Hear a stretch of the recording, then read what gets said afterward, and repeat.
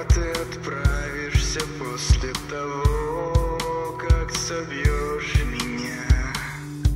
Куда ты отправишься после того, как собьешь меня?